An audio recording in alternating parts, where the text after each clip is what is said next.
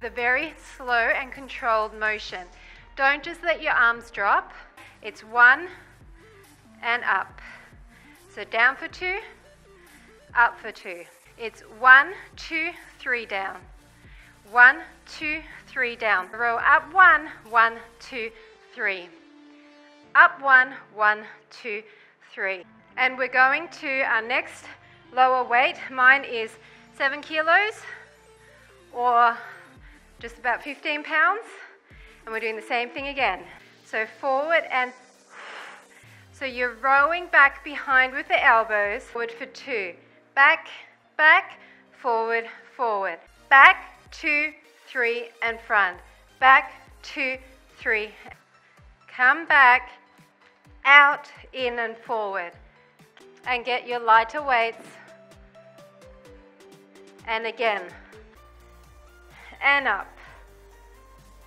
Back. And up. Up for two.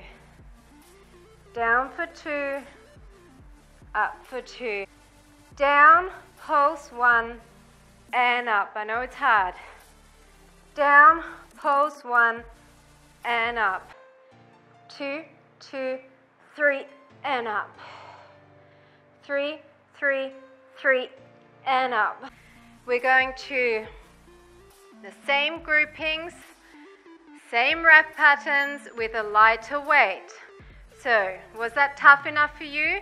If not, you can do the whole thing with the heavy weight again. Hey, why not? Down slightly.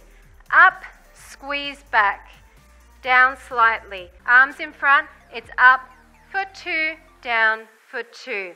Up for two, down for two. You're going to feel your abs in this as well. So it's up, push, push back, come down. It's up, pulse, back, come down, down, up, back elbow, down, up, front, down, up, back, and we just need to do that again, and we're done. Are you game? Okay, let's do this.